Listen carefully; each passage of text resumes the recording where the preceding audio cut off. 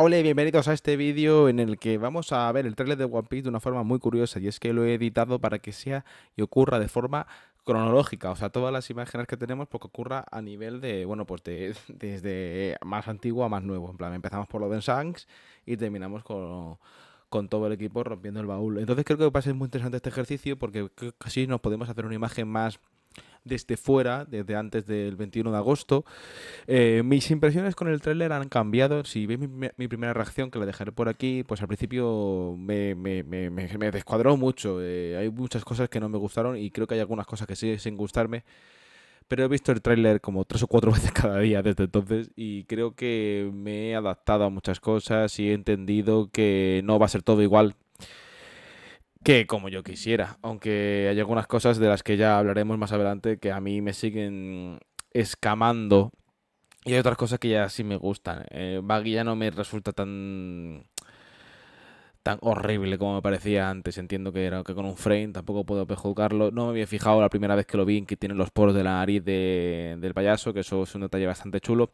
Así que bueno, sin más dilatación, vamos a ver cómo ha quedado el tráiler. Eh, tiene fallos de ritmo enormes, porque obviamente se ha evitado con la música, se ha intentado cajar lo que he podido, y tiene fallos enormes de edición, ¿vale? O sea que no esperéis un trabajo profesional ni acabado con lo que acabo de hacer, simplemente he hecho una chapucilla para que sacamos un cómputo global, ¿vale? Eh, venga.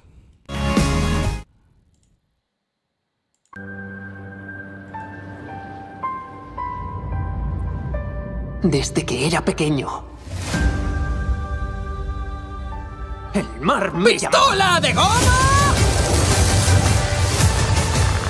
¡Goma! Yo persigo mi gran sueño. Seré el rey de los piratas. Quiero una tripulación fiel. Y creo que juntos haríamos un gran equipo. ¡Vamos a la Grand Line! Ten cuidado con eso. No trabajo para ti. Estoy notando un poquito de tensión en nuestra banda. No, somos, una, banda. Una traicionera zona del océano. Con grandes islas. Y grandes piratas.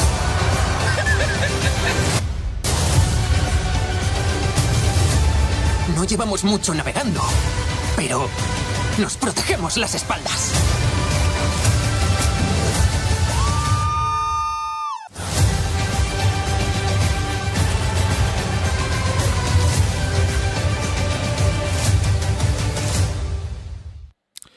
Bueno, hasta aquí mi chapucilla. Eh, y bueno, después de haber visto este tráiler ahí montado y demás, eh, quería enseñaros, Eva, quería enseñaros una cosa también, que creo que va a ser interesante verlo analizando un poquito todo, todo lo que es la parafernalia esta.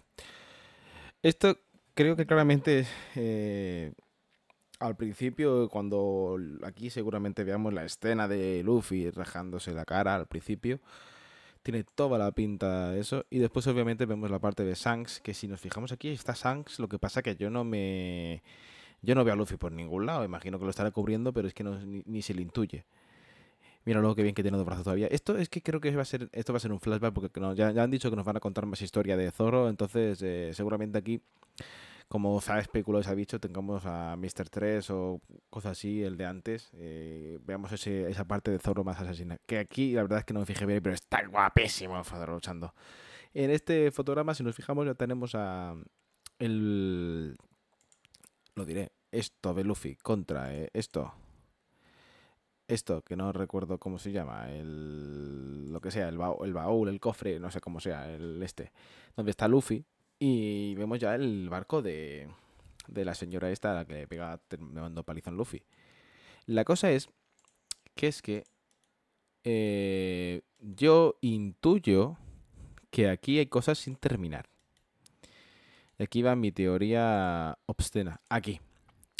Vemos en el anterior plano que esto ocurre de día. Y ocurre de día. Y luego sabemos que esta acción, esto que pasa, ocurre a las pocas horas, no ocurre tampoco mucho más. Y es todo oscuro.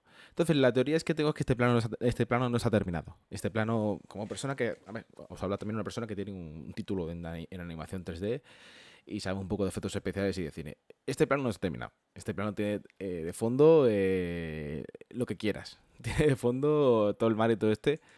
Este plano no ha terminado ni de Fly. Ni de Fly. Es imposible que se termine este plano. Porque si no es una cosa muy rara. O, eso, o tenemos un, un plano que va justamente después, después de todo de que Luffy y Kobe escapen y se encuentran con ese señor otra vez en el barco de noche y le dan par pelo. Esa es otra teoría. Pero vamos, a mí sensación de acabado no me da. Sé que tiene el mar por ahí de fondo, que podría colar incluso, pero yo creo que todo eso tiene que ser de día. Si no, no entiendo nada.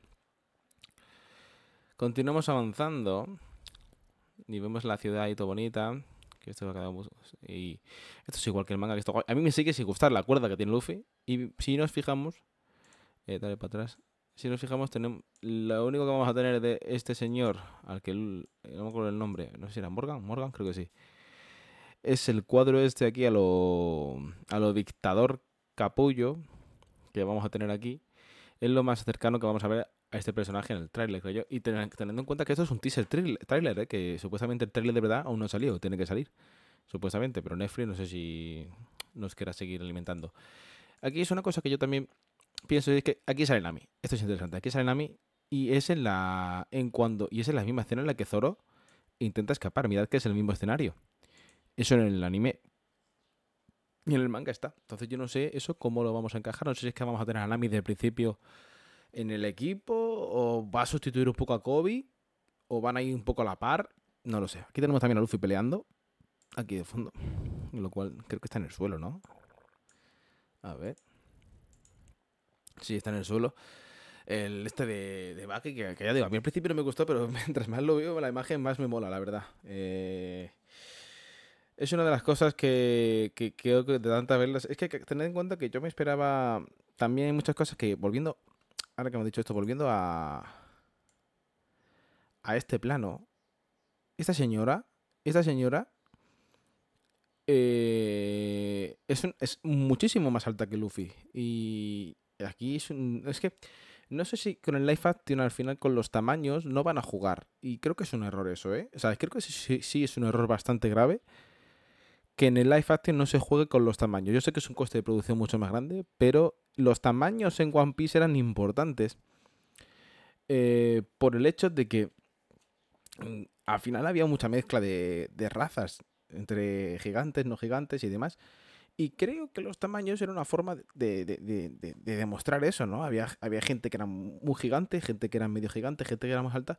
Y esta muchacha, pues era una de las personas que también era muy alta, porque yo claramente vendía de alguna, de alguna vez. Entonces, entiendo que es bajar un poco la caricatura, pero yo lo de los, los tamaños es una cosa que yo no acabo de, ver bien que la hayan quitado.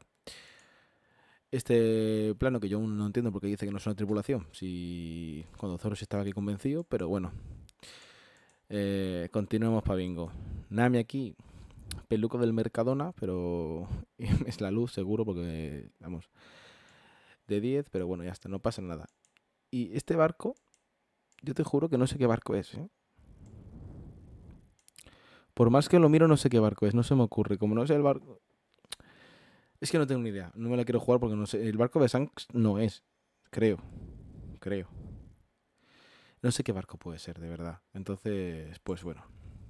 Pero creo que iré aquí. Y ya pasaríamos aquí.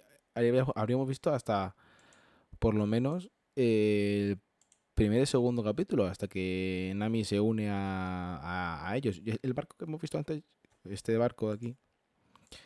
Yo lo he puesto aquí. Yo lo he puesto después de que embarquen porque me imagino que ellos antes de tener el MR tendrían un barquito chiquitito en el que podrían caber. Y lo harían más, y lo harían más o menos así. No lo sé.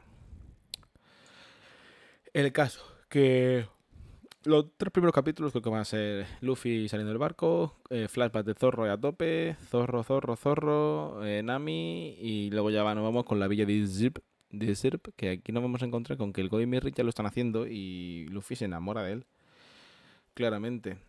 Y al final, por H por B, acabará Usopp ayudándolo a conseguirlo porque aquí está claramente celebrando en el barco. Aquí ya tenemos el Barati. Barati mola mucho, me gusta. Sanjay ahí a tope, tío, es que es, esto de Sanjay pegando al soplapollas de la marina. Además que esto es igual, ¿eh? Este plano es que es igual, míralo, tío, la pistola es... Qué fuerte, tío. Esto ya eh, es con el cuando se cae el agua, viene de esta gente de la espada y su madre y Sanji lo rescata. Y ya no tenemos nada más, o sea que nos saltamos directamente. No han cogido ninguna imagen, y estoy 100% seguro, ¿eh? no han cogido ninguna imagen de, de Arlon Park. Ninguna. Y uff, porque la de Bucky mm, tengo mis dudas de que no sea, de que sea al principio y que no sea justamente de, en, lo diré, en la última de la saga, no me acuerdo el nombre, no sé qué town. Eh, tengo mis dudas, pero este, este seguramente sea el final o, cállate, que... ¿Y si empieza así la serie? ¿Y si el montaje de la serie, o sea, esto, esto es- ¿y si el montaje de la serie empieza con con todos ellos aquí? Con todos ellos así. Y nos vamos al especial. Y nos vamos, en plan, como, como el especial este OVA que sacaron, que era prácticamente eso. Yo llegando a East Blue y recordando todas las historias. Ese montaje sería interesante también de ver. Es una idea que- que arrojo yo de Hibiri.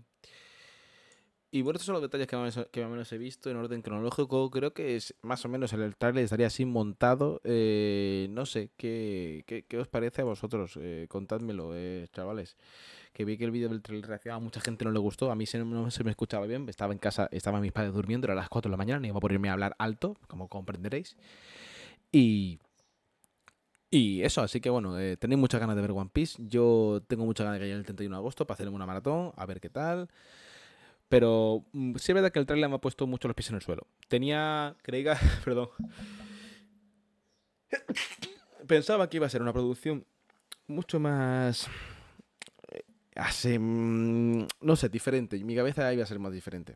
Iba a ser de otro rollo y al final han tirado por un- una cosa que está guay, pero que yo no me imaginaba. Entonces, la primera vez que vi el trailer, pues me chocó, me chocó bastante.